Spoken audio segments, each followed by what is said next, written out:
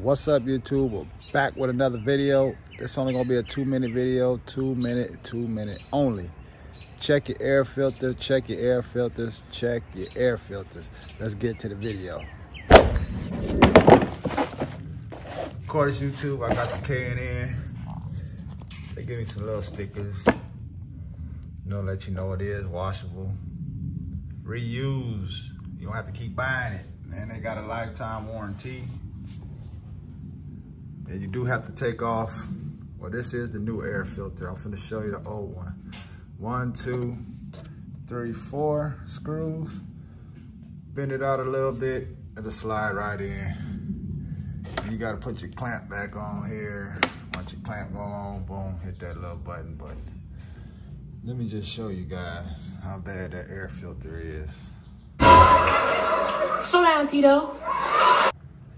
And I thought the oil changed people when they changed the oil at Nielsen, they do it, but they said they didn't. So that thing looked bad. And that's not even five months of driving. Only have 2,000 miles though. So that's what 2,000 miles looks like. Man, that thing looked bad. But I put in this one. It's supposed to be better performance or whatever.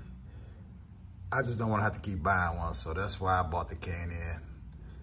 I got the washing stuff for it, so probably like every six months, I'm just gonna take it off and wash it.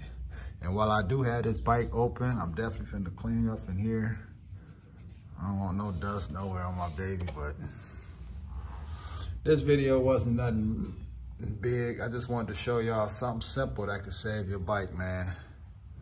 Shout out to my rap. Ooh, yeah. But K&N, that's the way I went, y'all. Uh, I'm a dog, I'm a dog, I'm a dog, I'm a dog. Every dog had his day, man.